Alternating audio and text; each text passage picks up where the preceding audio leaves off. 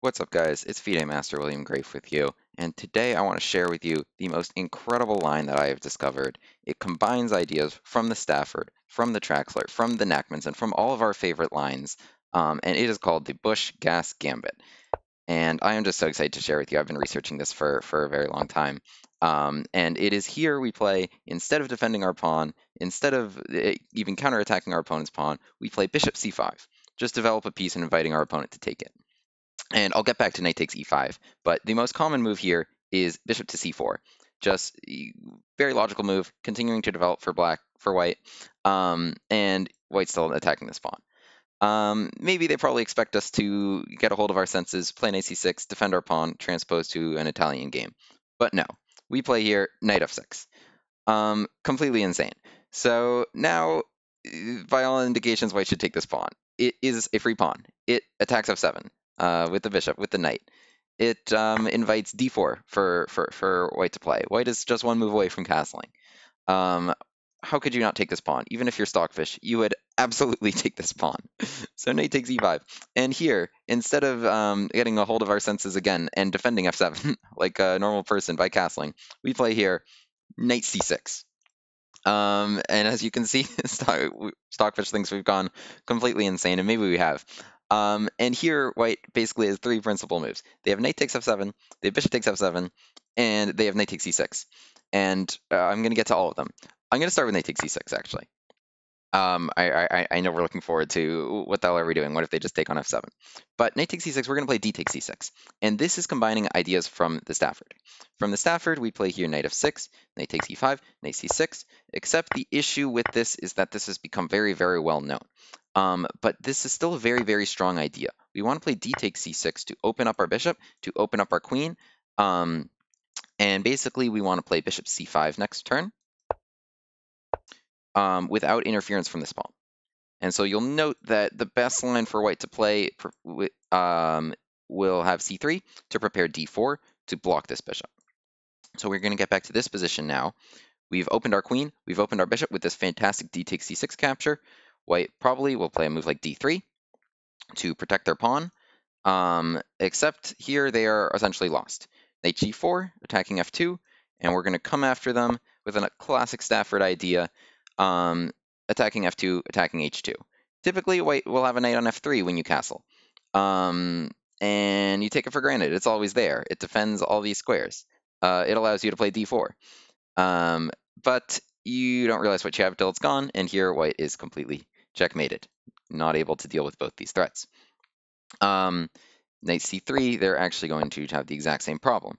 So castles here, still knight g4, still knight g4. Um, we are threatening queen h4 once again. White cannot interfere with this because our queen is helping. Um, and here, okay, knight g4, what are we doing? What if just h3? Here we take advantage of the fact that bishop is not protected. Knight takes f2, take again, check. And here we will come out up material. So it is very dangerous for, for white to play like this. They need queen f3, after which knight e2 to add additional defense around here. Knight e5 deals with, um, we don't want to get checkmated ourselves, um, but now they need to protect their bishop. Queen h4, we can keep attacking. This is lots of fun.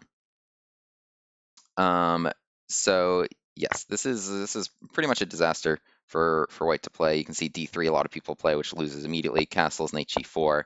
Um, queen f3 is not even found that often at the time. So knight takes c6. That pretty much handles that. And I would recommend watching videos by like Eric Rosen if you want um, more Stafford ideas. So, okay, we want to know what happens if they take our pawn. Let's start with bishop takes f7.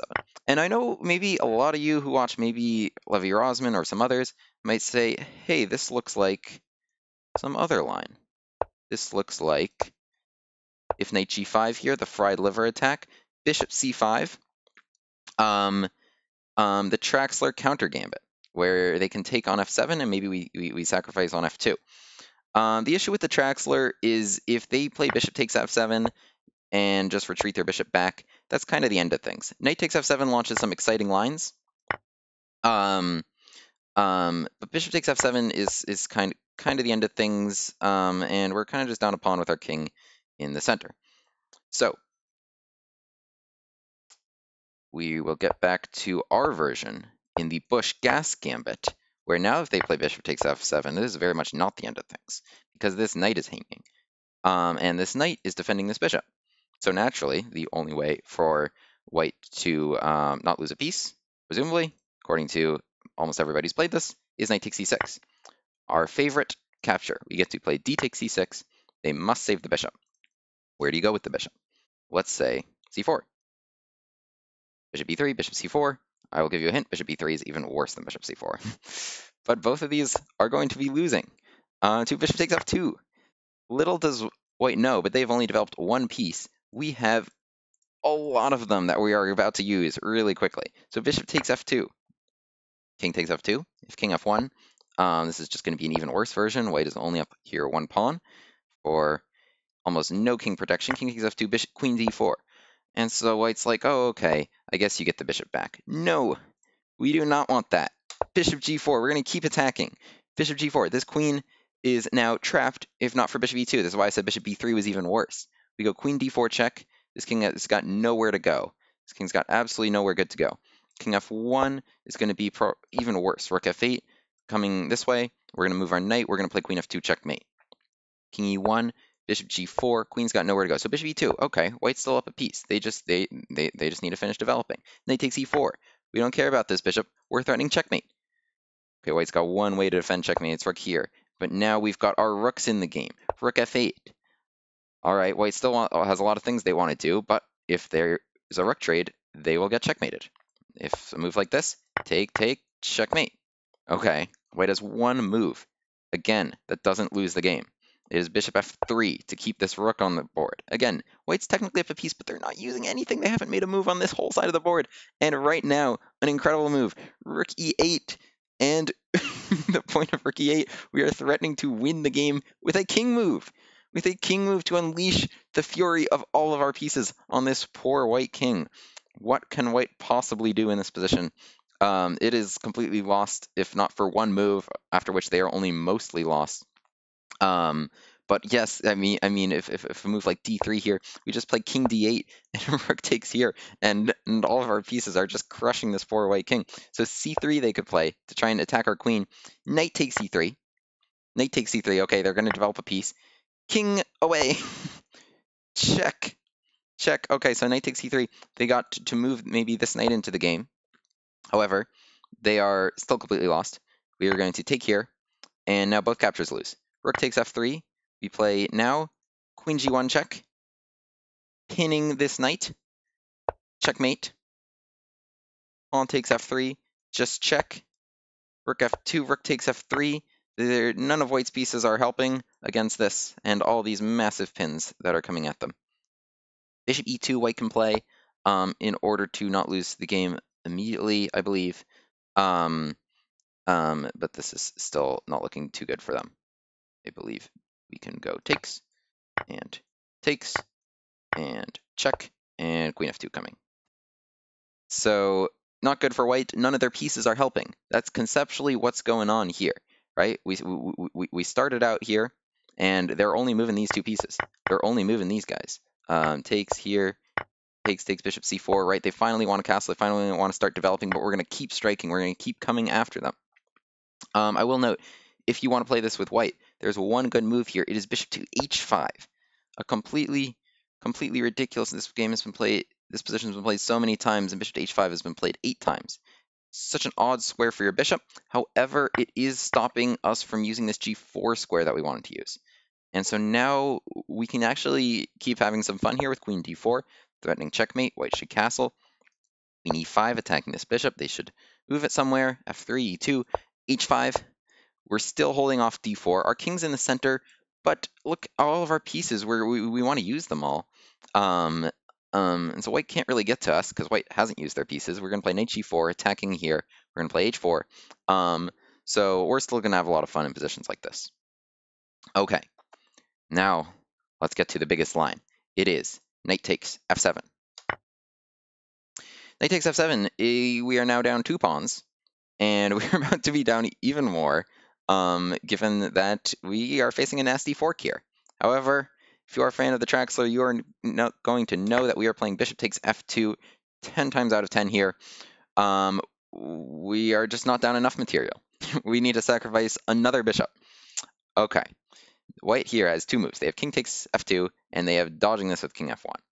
King f1 might seem a little bit more appealing here if you're playing the white pieces, um, because king takes f2 invites knight takes e4 check, and so we'll get to that soon. But let's start king f1. Okay, we need to not lose our queen. And now if you're white, you are only up one pawn. And that typically sounds good, but it's not going to sound good if this rook completely toasts your king. So you should probably get rid of that rook. Uh, and now white faces the classic problem of the Busch-Gass Gambit, which is that they have no development on this side of the board whatsoever. They have only moved their bishop and their knight, and we are going to come after this king with everything we have. d5, um, attacking this bishop. They should take it. Uh, I'll note if they take with the bishop, we have bishop g4, trapping the queen. Beautiful queen trap because, again, they have moved nothing here. So the queen is completely boxed in by her own pieces. Uh, they probably don't want to take this bishop because they literally played king f1 instead of taking it before. Um, so e takes d5, knight d4. Now, in the Traxler, we actually have the same position except with this pawn here, but it's even better without the pawn in the way because our queen is has this mate threat all the time, tying this queen down. So the most common move in the Traxler is still the most common move here. It is c3, and it's kind of a necessary one because bishop g4 is coming, and that would trap the queen if white had not played c3. Um, bishop e2 was possible to move before, but we just put our knight there to control that. So bishop g4 attacking the queen. White should play queen a4, c6, and white loses. All of a sudden, white is immediately lost because there's queen e1 checkmate, and they have no pieces, no rooks or anything that can help them guard it. Um, all their pieces are here, here, here, or just completely undeveloped. So king takes f2, they could play. Um, but again, they're going to lose immediately. 94. If they go on to our discovered attack, we will collect that queen. Thank you very much. This is why we love discovered attacks. King g1, queen f6. We are just gonna, we're, we're just waltzing right into f2. We're just waltzing in there. Nobody's there to stop us. Easy checkmate. Easy checkmate. Nobody's there to guard us. h3, they can create one more square, but all of our pieces are just completely hammering this white king. And now white has a couple other um, tries that they can make. They can play h3 if they really are looking at this, this idea. But again, in a lot of these lines, so let's say we just pull this bishop right out. First of all, one thing about h3 is that that pawn's no longer protecting g3. Uh, every time you push a pawn, that's going to be a problem. Now our next move is going to be knight e4. In fact, I think we could have played knight e4 last move as well. But knight e4, we're looking at knight g3, we're looking at knight f2, we're looking at queen f6 check. Um, and the worst thing that can possibly happen in these positions is that you are going to castle long and you are going to take this knight. Um, and use this f file and this e file, and you're going to have a ton of compensation for being an exchange down. Um, but I will show you some more fun lines because most lines white can e not even get that far. So d3, let's say they play. d3 makes some sense because they want to create a square for their queen. No matter, of course we're sacrificing things because we're completely insane. Um, now here we're finally making them take our own bishop, knight check. Um, um, okay, so now we get to this position. Um, king g1 is completely lost because of queen to c5. Queen to c5 is putting a killer killer uh, discovery on that king, and our next move is knight f3. And this knight does such a great job controlling against any block there, so they can attack our queen. It doesn't matter. Knight f3 is double checkmate. Um, I'll note that that's actually the same problem here. If king takes f2, knight g4. Um, now, if king f1, again, we're just going to slip right in there. Uh, this knight blocks this block, right? No block blocking there. Queen f2 checkmate coming next. King g1, queen c5. Beautiful move, queen c5. Um, white can even give this check. No matter. We just want knight f3, and this king is toasted. Uh, this king can dodge it again, but then queen f8. and we're going to get in there. Okay, so we can get back to this position with d3, bishop g4, attacking the queen, bishop e2, takes, knight g4, king, king e1, white can play. And so it's like, okay, we just need to slide this bishop out of the way, but if we take d3, maybe they go there. And if we take f3, maybe they go there. Now, they sh really shouldn't survive too much either way, but I just love the gorgeous finish that we have here, which is queen h4 check, g3, queen back to e7. Literally all we did was make them play g3, but this just shows the complete dominance of all these pieces. Like, white just has absolutely no defense for knight f3. We just made that pawn move, and knight f3 is our next move. Isn't that brilliant? So, so, so, so. White does have one um, engine recommendation here. It is the move d6. It is very, very tricky because c takes d6. Now the point is white will do the same line, but with no queen c5. So they put our own pawn there. And queen takes d6 we should play. Um, and we're still doing fine um, after queen takes d6. Um, they still should not take our bishop. They will still lose the game. Um, um, and yes, our next move is simply going to be bishop to g4 and castles long. Um, I think the engine recommendation here is d3 and doing the same exact line. But you have to be completely insane to play this for white. Uh, king g1 here again is going to lose the game. King e1, queen e7. Um, Again, this bishop is going to have all sorts of strong threats. I think we're going to end up in some crazy position like this. Um, we still want to take that knight as well. They can't take our knight because of rook to d8, winning the queen. We're going to castle long. We're going to keep attacking. And um, no, we absolutely have no interest in trading queens. Because with queens on the board, we can attack. With queens off the board, it is very difficult to, to attack an opposing king. Um, so yes, lots and lots of fun you will have in this position. Probably even more fun you will have than in the Traxler if you had the e-pawn on the board, because we have the additional ideas of queen down the e-file. Okay, now we will cover king takes f2. Takes e4 check. Um, now in the Traxler, that's the same except a pawn here. And things are going to be looking pretty similar, but not quite the same. White here should play king g1.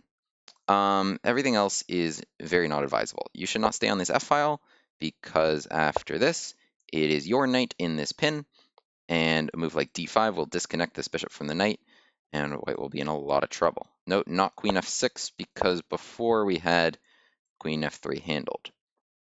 Um, um, white here, if they have any sense in them, will play king to g1, which is overwhelmingly the move played. Um, um, and the only engine recommendation, Stockfish still says we're losing because Stockfish is always a pessimist. King e1, I'll note queen h4 check. Um, again, this king is just nobody home. Queen f2 we, we want to play. g3 takes, uh, takes h1, and white is completely lost. King g1, though, provides white the maximal amount of safety, um, which is still not a lot, but it's still huddled around, and we here will play queen h4. So our queen was hanging. We got it out very nicely. And we are looking again at queen f2. Now, here, white has basically three options to guard queen f2. They have queen e2, they have queen f3, and they have g3. Now, queen e2 and queen f3, uh, simple for you guys, is going to be the same. Because queen f3, we're playing knight d4. And this queen needs to stay tethered to f2. Because this queen cannot allow queen f2 checkmate. So they have queen f1 and queen e3 as their options. And here if they play queen e2, we are still playing knight d4, and they have queen f1 and queen e3 as their only options. So very simple transposition. Queen f1. We are going to play here rook to f8. Um, queen f1 is the lesser advisable of the two moves, and Stockfish is already, I believe, saying white is lost if it thinks about this for a moment. Yeah. Typically, Stockfish is evaluations trends in our direction. Uh, we want to detether this bishop from this knight. And we have a lot of super cool ways to do it. I'll note one, so d3, so it's like, oh, okay, I'll kick this knight out. No, we're going to play b5. We're going to get that bishop out of the way. Bishop d5, bishop b7. We are using all of these pieces if it's the last thing we do. We are just need to get this bishop off of this knight. So now they take here, rook takes f7, and if we get that queen out of the way, we want to play queen f2 checkmate. And um, here, white is completely lost. They have nowhere to move the queen, where queen f2 checkmate is coming. And they just don't have enough pieces to sacrifice themselves for the queen. They can take the knight to maybe help them, um, uh, or else if they didn't take that knight, queen f2 would be checkmate here. But okay, castle's long, rook f8's coming, knight takes c2 is coming. They're completely lost and still have absolutely no development. So b5, bishop b7, what a crazy idea that we have here. Knight c3, I believe the move is still b5 and bishop b7, and this is just awesome stuff. So, queen to e3, white can play. And now, if you ask Stockfish, so, okay, we can take c2.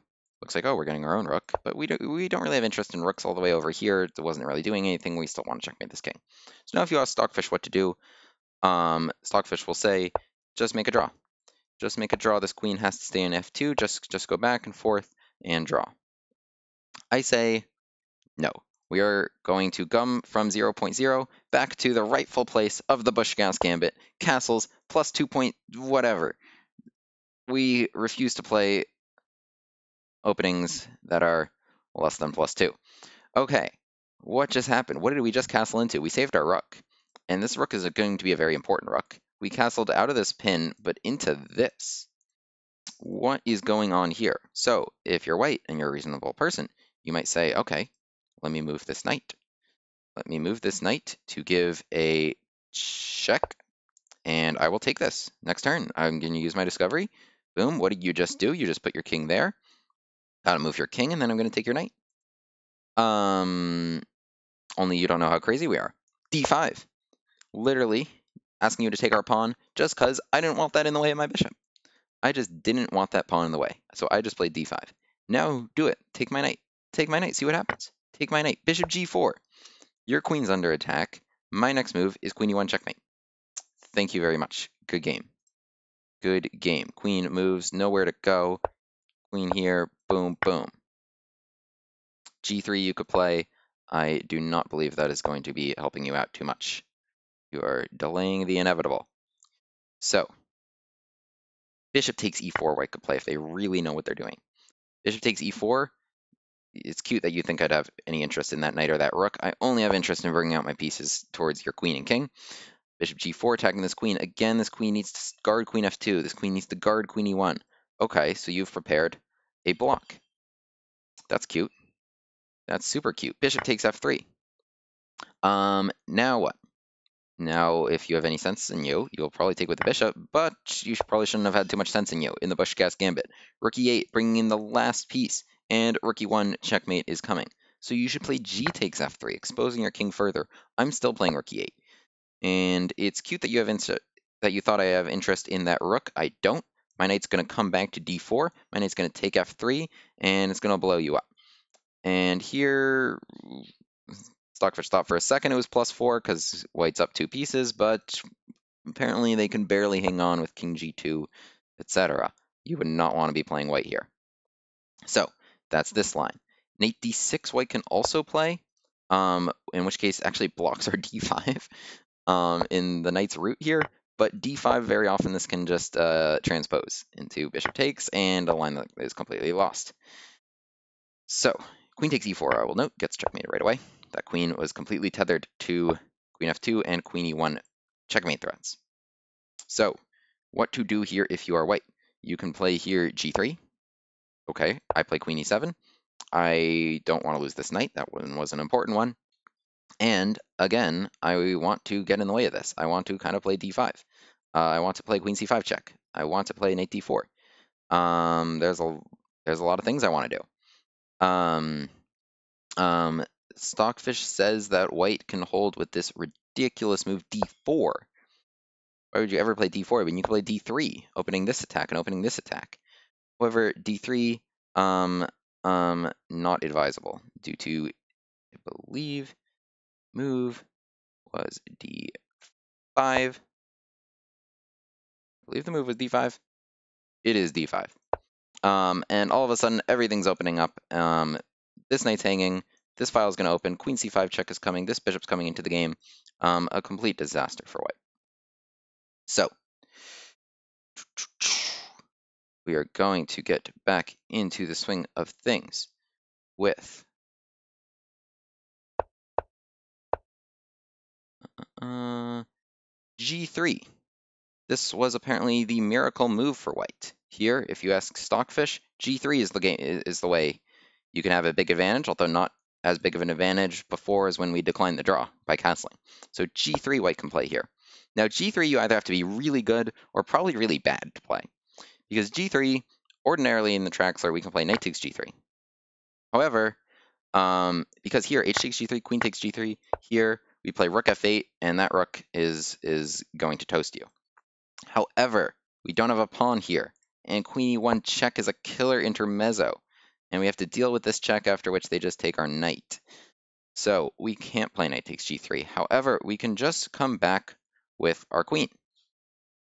Um, the move being queen to um, e7. Queen to e7. Okay, so they included g3, and now they get to take our rook. No matter. Um, we just play here. D. I'm sorry, I got this wrong. Ignore what I said. We play queen f6. Queen f6 makes a lot more sense. This is much more forcing. We're threatening checkmate. So we played queen h4. We provoke g3. We come back now queen f6. We could have done that right away, but we got them to play g3. And now with queen f6, we're threatening queen f2 checkmate. And so white should play here, queen e2. Queen e2, a good move, putting us in this pin. Um, we don't want to lose this knight, so we will play d5, a crazy move. And if we can ever just lose that pawn for nothing, we are very happy to lose that pawn for nothing. It is in the way of our rapid development. So d5, they should play bishop takes d5 to, again, control that knight, to control this knight, but that invited us to go queen d4 check. That bishop was protected here. It is not protected here, and we are going check. Okay, king g2 is not a good move for white because it just kind of puts them in this line of fire. Um, again, all the time, even like even if you don't win the game right away, and you just get this position with this great attack, and you're just down in exchange, um, but all your pieces are out, your king is safe, you're attacking their king. Great, great. This is a complete complete disaster for white. Um, um, oops, I was wrong. This move is a complete disaster for white. um, we're, we're gonna we're gonna keep striking quickly. Um, um, very interesting stuff here.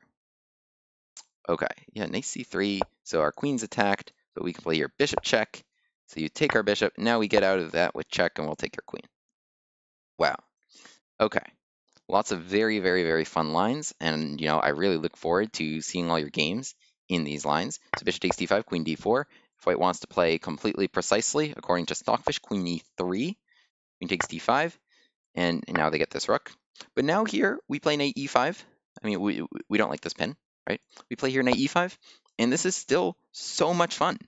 This is still so so much fun. I I, I mean I would give I would give a lot of people the chance to find the, the move here for white, the one move that that keeps an advantage. It is I joke I am not joking. It is h3.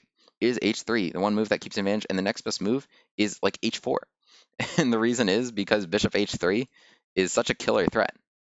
Um, you just want to play bishop h3. So like for example, knight c3 um, okay, thanks. I'll take, take, and bishop h3. And I want to come in here and checkmate you, basically. And I also want to castle along, use my rook, use all my pieces, and I'm going to checkmate you. Um, and none of white's pieces are doing anything. These pieces are completely useless. White is in theory up material, but they're not using it. In all these lines, that's the issue.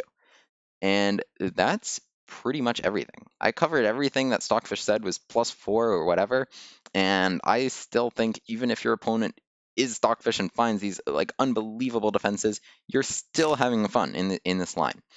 And so this is why I love the Busch-Gass Gambit so much, because when we play here Bishop c5, okay, Bishop c4, almost everybody's playing. Um, knight f6, knight takes e5. Uh, how, how could anybody resist this pawn?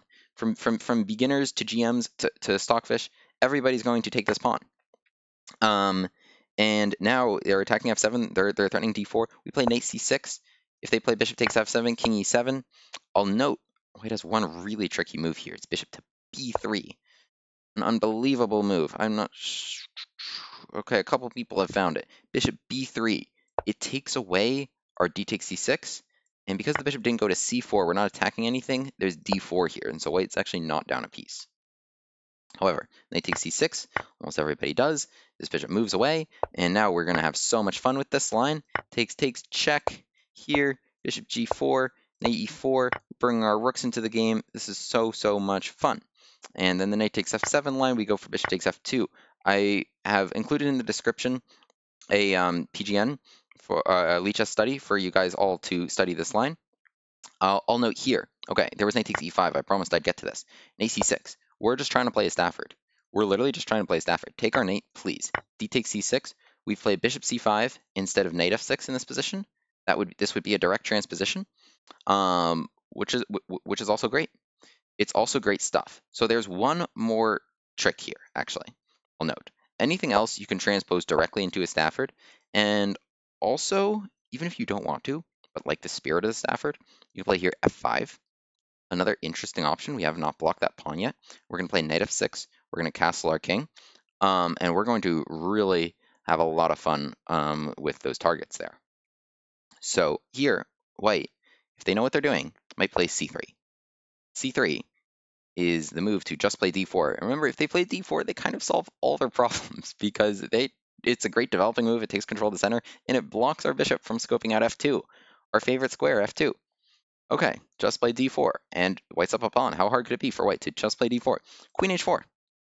Okay, we're threatening there, we're threatening here. You gotta be careful if you're white. If you do play d4 now, we play queen takes e4 and we're even. Right? White, white, white didn't keep their pawn. So probably odds are white wants to keep their pawn. We need two good game. You just lost. This queen has to move away, and there's queen takes f2 coming, checkmate. So white, so should play queen f3. They should be careful. Now bishop g4, there's queen g3. So now we play the most infuriating move for white. Queen h6. d4 now. Good game. this bishop is not protected. How annoying is that? Okay, so if you're white now, overwhelmingly, you will play here. Overwhelmingly, two out of three times at least, you will play here bishop c4.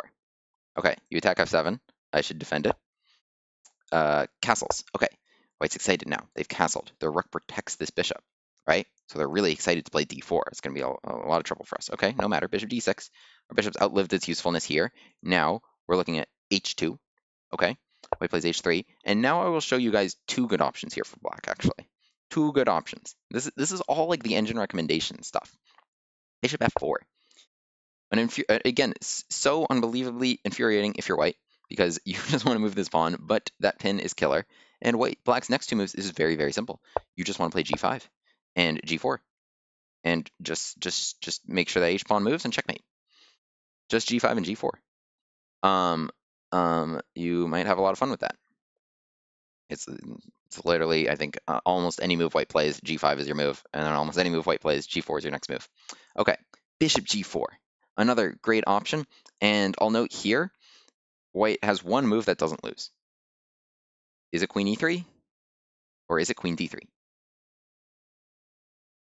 Trick question, they both lose. it is neither queen e3 or queen d3. Queen e3, bishop f4.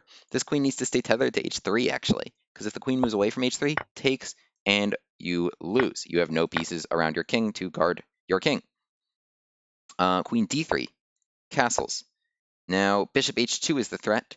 Uh, against that, we're using all our pieces. Everything's in the game. Again, white got nothing in the game. They never got in d4. So queen c2 they should play, and good game again.